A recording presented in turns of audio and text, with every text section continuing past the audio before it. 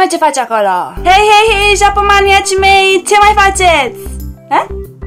Eu? Eu? Pff, eu fac super bine, având în vedere că sunt în țara soarelui răsare, țara unde a luat naștere anime, țara în care s-au bătut primii samurai, țara în care se rulează cel mai bine sushi. Știu, știu, ieri am făcut o lată și nu am mai postat de o grămadă de timp un episod nou. Dar am un motiv întemeiat pentru asta, pe lângă faptul că mi-a luat ceva timp să mă trezesc din visul ăsta dar un motiv despre care voi vorbi în minutul următor. Pentru cei interesați să afle primele mele impresii, ce am observat și ce am auzit încă din avion spre Japonia, nu clicuiți mai departe și rămâneți aici. Pentru cei care nu sunteți interesați, ei bine, pofta vine mâncând, așa că nu plecați nici voi, cine știe ce aflați nou. Deci, cum spuneam, am plecat în Japonia și am și ajuns aici. Am plecat la 3 dimineața, nici nu am dormit, cred că. Am avut 6 ore scală în Frankfurt, după care am zburat 11 ore cu avionul spre Japonia. Cum spuneam, dacă vreți să mergeți și voi în Japonia, vă trebuie pașaportul doar, dar în avion vi se vor da să completați niște documente, niște acte, unde trebuie să specificați câți bani aveți la voi, pentru ce ați venit în Japonia, când timp o să stați, unde o să stați, un număr de telefon și așa mai departe. Și uh, atunci când ajungeți în vamă, dacă stați pe o perioadă lungă de timp, uh, s-ar putea ca cei de la vamă să vă întrebe niște uh, întrebări capcană, unde o să stați, uh, când e ziua celui la care o să stați, uh, de ce ai venit pentru uh, Japonia atât de mult timp și așa mai departe. De asemenea, cei care zboară cu compania Lufthansa pentru a merge în Japonia au voie la două bagaje mari de cale pe lângă bagajul de mână și un ghiozan sau o poșetă. Odată ce ați ajuns în avion, veți vedea că avionul este unul foarte mare, cu trei rânduri de scaune și foarte mulți japonezi. Foarte mulți japonezi și foarte multe mame cu foarte mulți copii japonezi care sunt foarte gălăgioși, dar sunt atât de adorabili. Doamne, atât de adorabili! Și în avion veți avea chiar uh, și uh, display-uri pe fiecare scaun unde vă veți putea uita la filme, la concerte, să ascultați muzică, să vedeți unde sunteți cu avionul, la ce înălțime sunteți. Filmele sunt o grămadă de la Star Wars până la Disney și așa mai departe. Ce am observat eu, fiind înconjurată de japonezi, este faptul că și în avion japonezii se descalță și au papucii lor uh, curați uh, cu ei. Încă o chestie, încă din avion am încercat uh, prima mâncare sau gustare japoneză, care trebuie să vă spun că mie nu mi-a plăcut și a fost așa de oribil să o mănânc.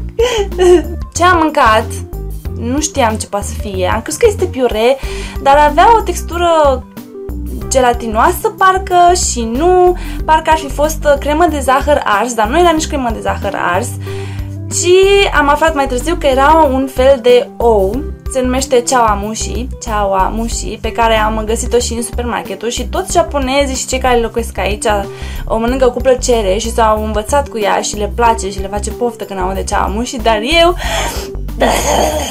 Ok, și odată ajunsă în Japonia am fost atât de fericită!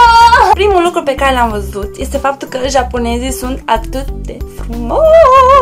Încă din tren am observat că foarte mulți japonezi, cred că aproape 70% din japonezi poartă acele măști albe pe față. Uh, motivul lor este faptul că sunt răciți sau nu vor să iar ceala de la altcineva, să se protejeze de virus și așa mai departe. Dar eu cred că deja exagerează, cred că deja încep să se ascundă sub acea mască, se simt, se simt mai uh, protejați, mai în siguranță, uh, să-și ascundă fața atunci când nu se maghiate prea frumos sau când nu se simt foarte bine în ziua respectivă. Dar chiar și la vamă, cei care lucrează în vamă aveau foarte, toți aveau măști pe față și mi-era greu să-i aud, dar așa este obiceiul la ei, așa le place, nu? Încă din tren am observat uh, fetele sunt foarte fashion. Contrar stereotipurilor că japonezii sunt uh, cei mai urâți neatrăgători asiatici, că de fapt uh, cei din Corea sunt mai frumoși sau cei din China, dar nu este deloc așa. Credați că japonezii sunt scunzi și nu prea frumoși și fetele un pic cam neatrăgătoare, dar nu e deloc așa. Doamne, cât de fashion sunt femeile, fie că sunt de 16 ani, fie că sunt de 70 de ani. Chiar și la 70 de ani le vezi în costum și cu accesorii și cu machiaj pe față și aranjate cu cerceluși, sunt foarte, foarte drăguțe. Și multe fete uh, tinere, adolescente, îmbrăcate exact ca în animeuri, fie în uniforme cu ciorapi lungi și uniformele sunt foarte drăguțe, fie în uh, foarte multe combinații ciudate între sport și elegant. Băieții de asemenea sunt înalți, ce puțin așa mi s-a părut mie și eu sunt o fată înaltă și uh, sunt tot timpul așa, uh, părul este aranjat într-un anumit uh, mod și cu geacă de piele și cu inele pe mână și sunt uh, fie în costum, total în costum, precum probabil asistentul de la ambasadă, uh, dar și uh, rock and roll sau foarte chill. Ceea ce nu înțeleg eu și poate reușește cineva să-mi explice de ce bărbații poartă unghiile lungi. Sunt atât de groase și lungi, mi se par ciudate. Oricum ei au deja degetele foarte osoase și lungi și subțiri și cu unghiile acelea mari, mă cam sperie un pic. Iar uh, fetele, iarăși o modă foarte ciudată, mm, un obicei pe care uh, am înțeles că și noi l-am avut în trecut, despre care nu știam foarte bine uh, și nici acum nu înțeleg. Fetele poartă încălțările cu vreo două, poate chiar trei numere mai mari, le vezi cum le scapă din picioare și cum efectiv înnoată în ele și vârfurile picioarelor se duc ca pe un topogan. Rămâne o grămadă de spațiu între călcăi și pantofi și merg cu ele așa ca ruțuștele, nu înțeleg de ce le au atât de mari. Mă rog, este moda lor. Ceea ce mi se pare super kawaii, trebuie să recunosc din nou, este faptul că poartă balerinii sau sandalele sau sandalele ortopedice, sandalele deschise la degete și așa mai departe. Le poartă cu șosete, ca la fetițe mici de 5 ani cu șosete cu danteluță la capăt și colorate. Iau foarte serios descălțatul japonezii. Um, chiar am făcut o gafă de curând, că am fost cu o la, la dentist în Japonia și am deschis ușa frumos, la la la la la la la și na, că am făcut o de gafă, cineva mă striga în spatele meu, nu, nu, nu, nu, vină înapoi, vină înapoi, trebuie să te descalți. Am uitat să mă descalți chiar și la dentist, nu că intri în cabinetul uh, doctorului, ci efectiv când intri în instituție, uh, trebuie să te descalți. Ai acolo un dulăpior unde îți alegi uh, papucii și îți uh, pui încălțămintea. Uh, și de asemenea și, de exemplu, la creșă, când intri în clădire, trebuie să te descarți neapărat înainte de a intra în uh, clasă sau locul unde stau copiii. Locul unde stau uh, locuiește și un băiat de clasa 5-a și am aflat că sistemul de învățământ este evident diferit față de Europa și anul școlar se termină în, uh, la sfârșitul lui martie. Am fost cu el la cumpărături și am luat exact ca în anime încălțăminte specială pentru a merge prin școală. Bine, ăștia sunt deja foarte foarte uzați, el și-a luat alții noi. Acum, de ce am întârziat să scot episoade? Am uitat complet că în Japonia prizele sunt diferite, nu sunt ca la noi uh, rotunde, cu acele picioare rotunde, sunt uh, pătrățoase și foarte subțiri. Și am ajuns uh, în Japonia uh, fără baterie la telefon, uh, fără baterie la laptop și fără baterie la camera mea um, video și foto și am rămas pupăză într-un copac fără uh, electricitate pentru iubitele mele uh, partenere de filmări și internet. Uh, așa că am stat foarte mult uh, timp uh, să găsesc un loc unde pot cumpăra un transformator să-mi schimbă cablu și să pot băga laptopul în priză. Și am crezut că mi se de ajuns să cumpăr unul pentru laptop, dar se pare că am nevoie de unul și pentru uh, acumulatorul meu, pentru bateria mea de la cameră. Și uite așa am stat și am așteptat, dar uh, a trecut ceva timp cam repede și n-am avut când și cum să filmez și chiar și acum încă trebuie să mă duc să cumpăr ceva pentru camera mea și după cum vedeți m-am întors iarăși la calitatea extraordinar de slabă a telefonului meu, așa că gomena sai, suportați-mă un pic așa. Deci când veniți în Japonia, nu uitați să vă um, informați în legătură cu asta. Dacă puteți să cumpărați din România un transformator, eu nu m-am interesat, am uitat complet.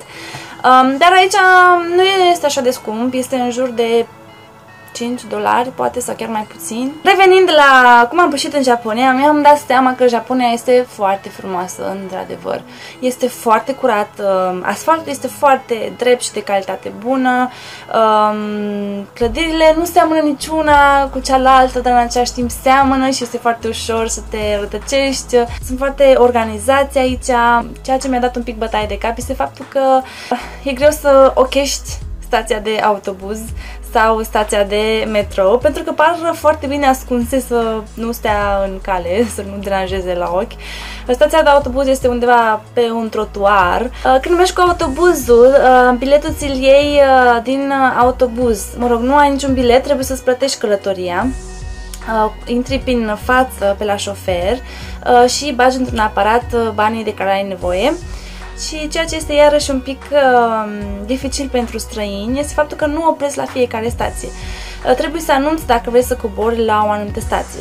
Șoferul nu oprește autobuzul dacă cineva nu anunță că vrea să coboare la stația respectivă sau dacă în stația respectivă nu sunt oameni. Și poate să treacă de stația ta mult și bine dacă nu apeși un buton prin care să zici Hei, eu cobor la stația următoare.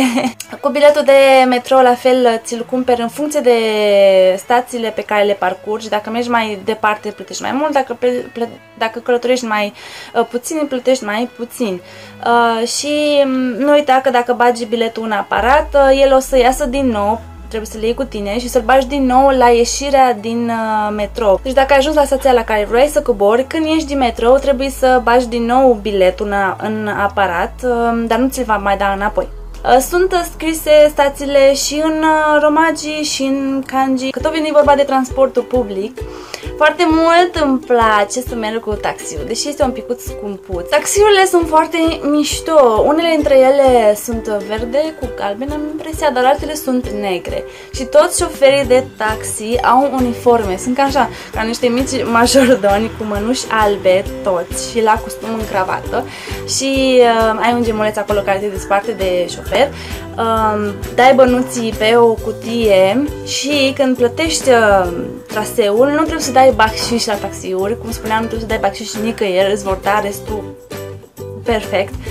Și la supermarket uh, și în mall-uri oamenii sunt foarte civilizați, mai ales uh, bodyguards parcă sunt niște locotenenți, au o uniformă foarte frumoasă și detaliată și sunt foarte, cum spuneam, politicoși. Dacă le ceri ajutorul după ce ți-au oferit ajutorul, se înclină ca la, cu mâinile pe lângă corp și la 45 de grade. Chiar și la supermarket uh, nimeni nu se grăbește, se ia fiecare produs și se pune în coș uh, cu calm uh, și mm, fetele de la supermarket, vânză, nu vânzătoarele, cele care îți pregătesc sacoșa, sunt ca niște roboței, um, vorbesc uh, fără să se întrerupe, fără să se bâlbâie, foarte politicos, uh, foarte um, elegante în mișcări uh, și în aplecări și îți mulțumesc și sunt foarte, foarte drăguț, te simți bine când mergi prin oraș și chiar și la cumpărături. Televizor, când mă uit la televizor să mai prind și eu limba japoneză, um, programele sunt haioase, japonezele consideră foarte haioase unele emisiuni pe care eu nu prea le înțeleg uh, cu un public larg uh, la care se uită la foarte multe videoclipuri, care probabil trebuie să ghicească um, ce se întâmplă în videoclipul respectiv și fac glume. Uh, animeurile mă așteptam să fie ceva mai wow, însă n-am văzut până acum Naruto sau Sailor Moon. Uh, Canalele sunt uh, exact ca în celelalte țări, uh, nu scap de Disney Channel, unde copiii se uită foarte mult la Disney Channel și Animax-ul, ca și programul de Animax. Pe Animax sunt uh, anime pentru copii mici, um, cu animeuri foarte vechi, dar foarte, foarte drăguțe, pe care eu nu le știam. Um, a foarte mult uh, teleshopping, ca să zic așa, unde prezintă o grămadă de accesorii și le probează și le laudă și așa mai departe și văd că japonezii se foarte mult la ele și le comandă. Trebuie să recunosc că sunt foarte drăguțe chestiile pe care le vând acolo, uh, coliere de perle, umbrele Lolita, tot felul de îmbrăcăminți Lolita, sunt foarte drăguțe. Și iată pentru astăzi, ca de obicei, cred că am vorbit prea mult. Uh, sunt atât de, cum spuneam, entuziasmată că vine să vă spun totul, totul, totul, totul, dar cred că v-am mai spus ceva uh, din pozele pe care le-am trimis și din filmulețele, cum îmi petrec eu timpul și ce mai văd și cât de drăguț este aici. Uh, rămâneți aproape pentru că urmează un episod de limba japoneză. Știu că am rămas în urmă cu limba japoneză. O să revenim imediat și nu uitați că mă găsiți pe Instagram, unde postez poze, mai mult decât pe Facebook, cred, dar și pe aplicația Snapchat. Este o aplicație pe telefonul mobil unde ți-o descarci, îți faci un cont și acolo la căsuța de search, de căutare, uh, tastezi uh, Japomaniana, Japomaniana sau îndrăg de Japonia, îndrăg de Japonia, de la îndrăgostiți de Japonia și apăsați butonul de plus și uh, m-ați adăugat și acolo veți vedea că postez uh, mai des filmulețe cu ce văd eu prin Japonia sau ce mai fac și așa mai departe. Și ne vedem data viitoare! Bye! 啦！